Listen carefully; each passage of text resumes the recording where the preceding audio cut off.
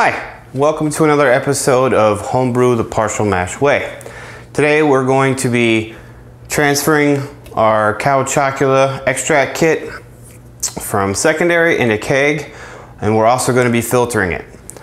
Now the reason I filter is solely just to get the yeast out. Um, not worried about other like small chain proteins and stuff like that. Not worried about getting it totally clear or uh, chill, you know like for chill haze. I'm not concerned about that. I just I don't like yeast suspended in my beer because the yeast in my stomach don't agree with one another. And that's really the only reason why. I know some people say it strips flavor, but I'm okay with that because I think the amount of flavor that it strips is so slight that I don't, I just would rather not have my stomach be upset from drinking beer with yeast in it.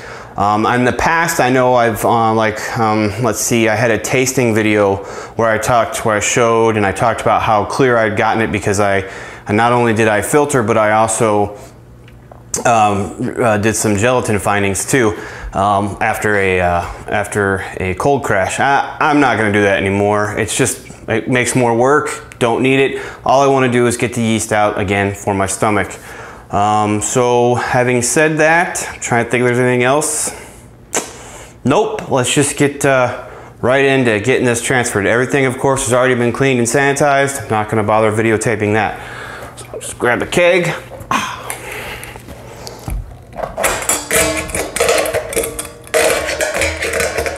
That's kind of off camera, isn't it? Yeah.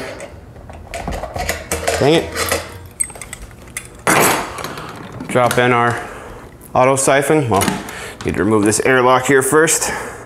You know, something that was really cool with this cow chocula that I guess I it makes sense, but, I wasn't expecting it was adding those cocoa nibs. Uh, set the set fermentation back off. I mean, it. I came back the next day and this thing was bubbling furiously. I mean, you can see that. I don't know if this camera's getting that, but there's some krausen right here. Let's see if I can get that in the shot. Let's see. You can kind of see that there's just another layer, a layer of gook that formed after uh, after I added the after I dropped it into the carboy and then added the cocoa nibs to it. Yeah, fermentation took back off. So really what I should be doing is taking a uh, gravity reading, but I've already got that in. I'll just take it out of the keg. No big deal. So here we go. Let's get this tube down into our keg. Anything that's left in here is just sanitizer and I'm not really worried about getting sanitizer in the final product. Okay, so again, what I like to do is I'll go all the way to the bottom. Yep, now pull it back out so it's not resting on the bottom. Give her a pump. One should be enough. I probably have way more tubing than I need. And then she's off.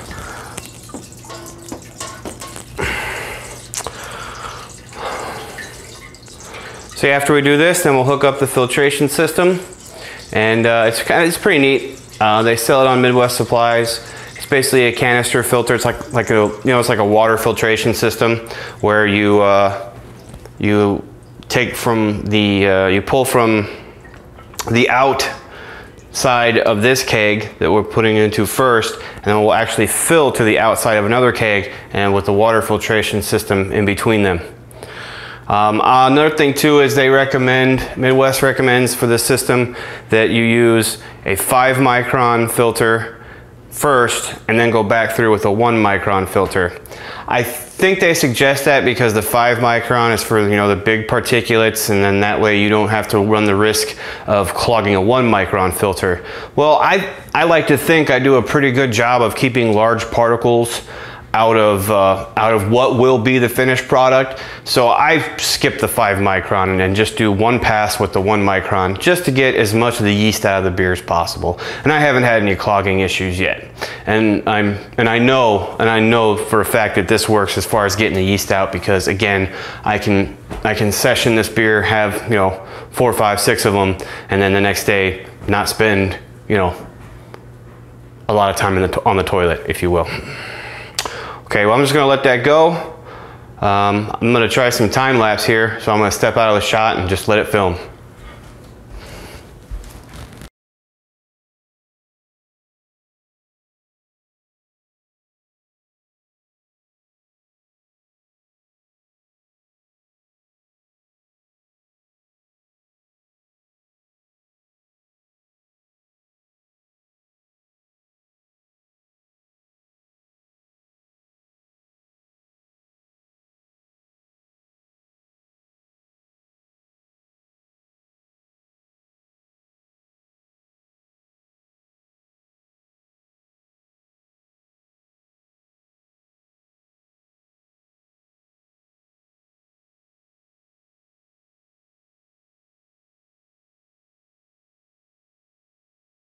Okay, uh, so we got done transferring from the secondary carboy into our keg. You'll notice that I left uh, a pretty decent amount in the carboy. That's because I brewed probably closer to five and a half gallons than five.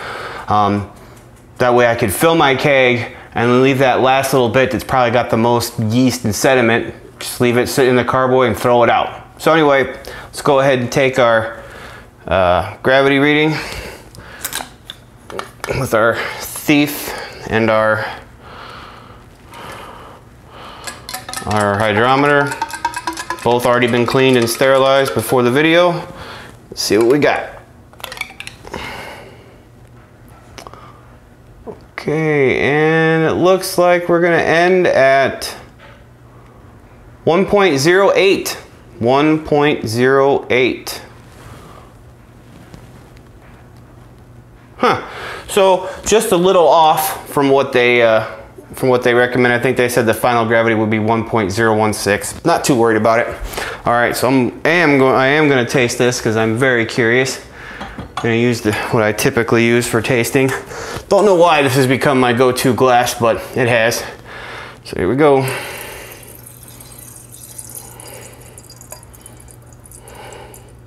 Got myself a big old sample. Really curious if the chocolate comes through.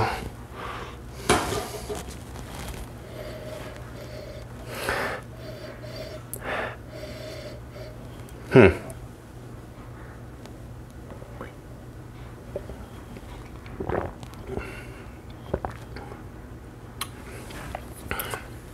Yeah, it's kind of got almost more of a dark chocolate taste.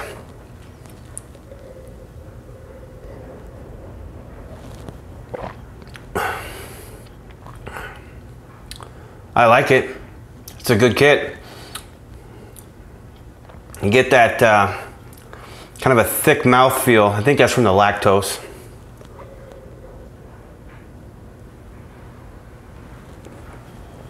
Mmm. Ice cold and with some bubbles. Can't wait.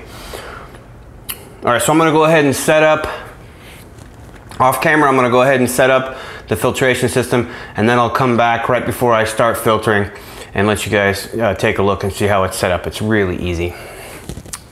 Okay, till then. Okay, so we got everything set up. It really didn't take me but a second. So on the right side, we have the keg that currently has the beer in it, uh, lid closed. I'm about to introduce CO2. Then on the outside of the keg, you see it'll come through that vinyl tube down here to uh, to the filter, just a simple canister filter. I have a one micron um, paper filter in, in there, paper style filter. Then the out is gonna go up and we're, this is the important thing. We're gonna go through the outpost. That's why you'll notice the ball lock is black, like for out and gray is for in. The reason being is obviously we don't want the beer dropping all the way from here and being agitated. Um, plus you just you don't want to have liquids in your gas in your gas lines anyway. Um, it's important to remember on this one during filling that I'm not capped. It's just resting inside there because otherwise, it's, otherwise what's going to be happening is as you do this, the system's going to uh, balance eventually and the fluid's going to stop. Another thing too is you'll see that you know I've got my CO2 tank hooked up. You are you're going to adjust your pressure with your regulator to where you're just moving beer. It does. You want to go as slow as possible. The slower you go, the better it's going to filter. Um, plus, you're not going to damage the filter, and that way you're not also agitating your beer any more than you need to. So we're going to go ahead and start her up. I'm to try and stay out of the shot so you can see this. Okay, my tank is closed right now. Make sure my regulator is all the way to zero. Okay, so gas supply's on and I'm just gonna slowly bring up my regulator until I start seeing beer move. Shouldn't take very long.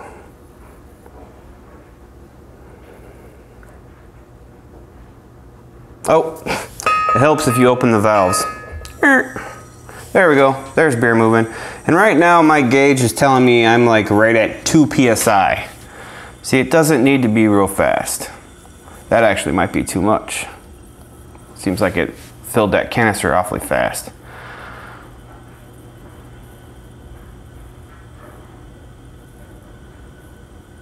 That's interesting. I'm not getting any, uh, I should be getting beer on the outside. Give it a little more pressure. There we go. Now I've got beer on the outside. That's another thing too, the slower you allow that canister to fill, the less you're gonna get of those bubbles you see. And again, you don't want those bubbles. Another reason to take it slow.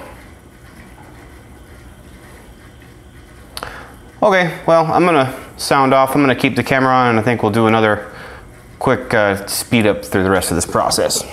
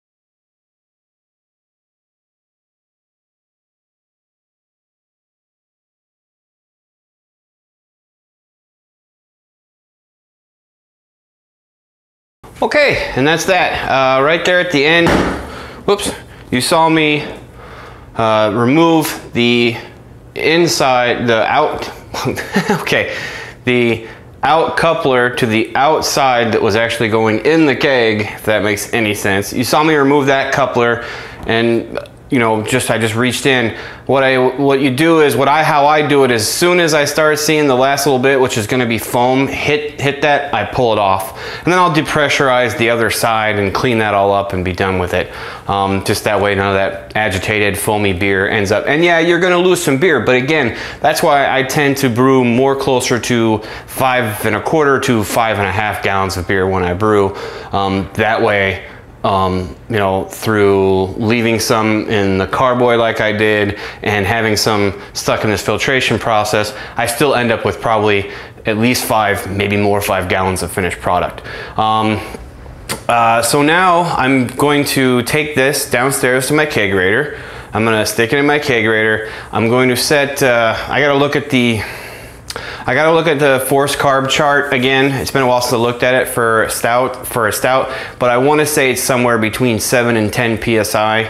And I, I don't do any, you know, agitating or anything like that. I'm, I'm a patient person. I would much rather it be carbed right than run the risk of overcarbed, overcarbing it and have to deal with that. Um, so I use the set it and forget it method. I'm gonna, excuse me, I'm gonna hook it up to gas. I'm gonna set my regulator to whatever the force carb uh, chart says um, for the temperature and the temperature and the final result of carbonation that I want for a stout and uh, probably try it in a week. So hopefully this weekend, by this weekend, because today's Monday, I'll be able to uh, try that beer. I'll probably try it before then because that's that's just who I am. But um, Actually, so speaking of this weekend, uh, I have very uh, very special uh, brew video coming up this weekend. I wasn't actually planning on brewing for a while um, because with the amount of beer that I'm drinking now, which is not much, uh, I'm really cutting down on my uh, beer consumption for health reasons. Uh, that mm, five gallons of beer should last me a good long while, so I don't really want to have a whole bunch of beer sitting, you know, in my fermentation area just waiting. So, uh, but anyway, this beer is very special. It's for it's for an occasion. Um, I'm going to be brewing it, and then I'm probably I'm hope the the idea is the hope is is that whenever I'm taking it to uh, my my buddy's uh, bachelor party. Um, and hopefully it's a hit and it gets finished in one night. And he is actually going to guest star um, on the, this next episode, if I can talk him into it anyway. So we're going to be brewing up a uh, Basically what I'm gonna brew is I'm gonna be brewing an a jalapeno IPA. Uh, never done, never added jalapenos to a beer. I've done some research and the funny thing is, is I'm actually gonna try all three ways that I've heard of, but with fewer jalapenos at each stage. Um, see if how it turns out, because I love experimenting. That's, I mean, that's part of the reason why I, I do this. In another life, I think I was a chemist. Because I love cooking and I love making beer because I love experimenting with flavors and different uh, pro uh, products. And so yeah, so uh, my buddy's gonna be uh, here. We're gonna be brewing it. We're it's gonna be it's gonna be full partial mash. You know, we're gonna do eight pounds of grain tons of hops in this beer. This because he's a big IPA fan. Um, I'm actually, it's going to be a take on that recipe I did in my very first video. Um, the grain bill is pretty, is very similar. Um, I think one or two of the hops is going to be utilized that I used from that first IPA. Uh, but yeah, so it should be a pretty good beer. I'm hoping to get that. I'm hoping. I know. I know I'll hit the hop notes. I'm not worried about that. But I'm hoping I get the the right balance of peppery and hot with that jalapeno. Should be good. Should be real good. So anyway, so yeah, that's it. I don't really have anything else. Pretty simple, simple, fun little video to do about uh, how I filter and keg. If you guys want me to go over how I carb and be more detailed, hey, hit the, you know, hit me up in the comments. Uh, I don't plan on ever doing a carbing video, but I can. Uh, not, not a big deal. Um, yeah, so I'm done. Hey, if you liked it, hit that hit that thumbs up button. If you didn't like it, hit the thumbs down, and then leave a comment and tell me what you didn't like so I can fix it in the future. And uh, please subscribe and make sure you uh, turn on alerts so every time I post a new video, you'll know when it hits. All right, guys. Until next beer. Cheers.